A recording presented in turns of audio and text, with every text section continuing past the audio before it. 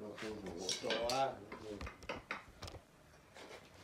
nó không bị tốn gỗ nó thành nó rẻ. Thôi thì lấy công bằng đá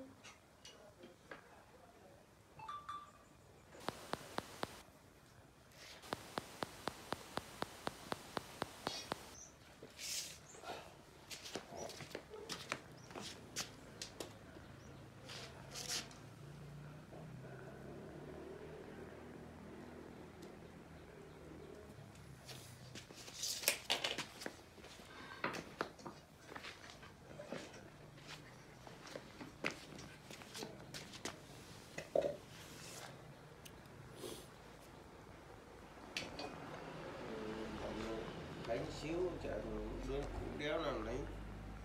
Chồng lấy vợ gì gì xíu thì chắc là không rồi. Gì xíu thì gì ở vậy rồi nhìn cái độ đấy thì không bao giờ lấy chồng rồi. Cậu ấy cậu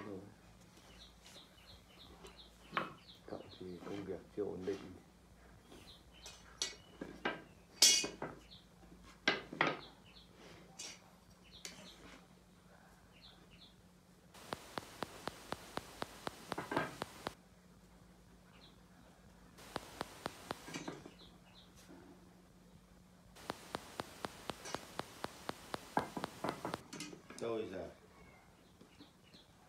Lại tự dưng không thích uống rượu không hái uống rượu. Nó mệt không ạ.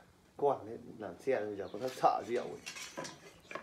mình lâu À. quá rồi không uống uống một trận nó mệt lắm. Qua ông Hòa đi ăn cỗ về rồi anh vợ lên rồi ra bảo chú vào trong ăn cơm tiếp rượu ông anh vợ không.